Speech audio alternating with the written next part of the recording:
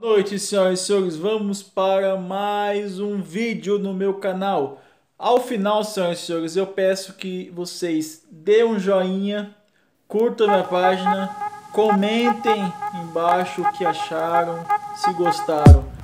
Na história de hoje, vou contar o dia que eu me arrebentei todo da bike. Eu caí, senhoras e senhores, caí, tombo, besta, que aconteceu. No dia tinha chovido bastante, estava um dia bom, tal, tranquilo, suave. Quando eu pegando ia pegar a ciclovia, não estava correndo, né? Correndo a bike, eu estava preparando para virar. De repente, levam-se um tombo,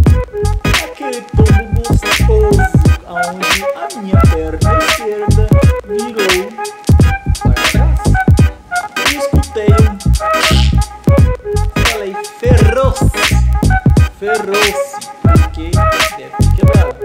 O ciclista me levantou, me ajudou aquele dia.